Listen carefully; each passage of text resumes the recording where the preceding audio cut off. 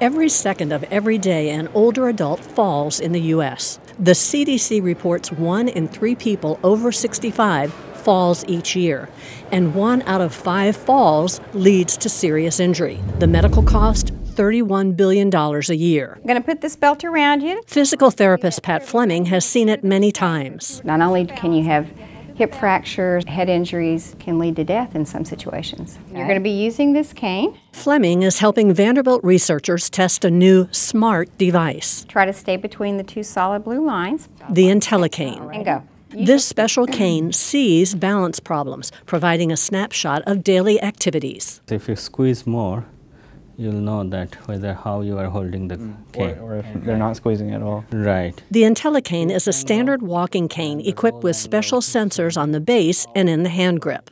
This two angle will give you some idea how the cane is being used. Special software analyzes the cane's movements that could lead to a fall. One thing is non-invasive.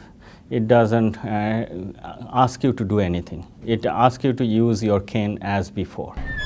Sarkar says the IntelliCane can even identify problems like foot dragging.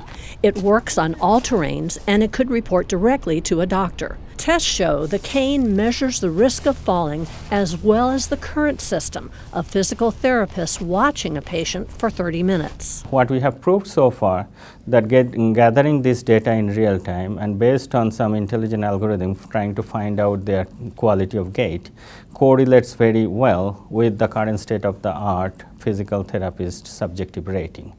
IntelliCane has a patent pending, and researchers hope to have the device available for less than $100. In Nashville, Barb Kramer reporting.